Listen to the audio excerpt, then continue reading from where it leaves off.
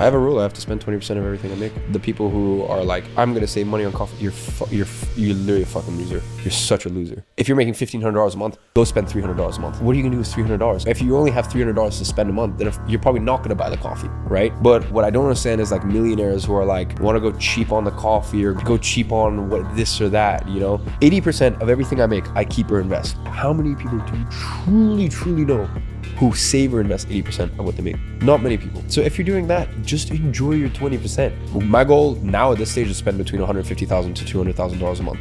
That's my rule.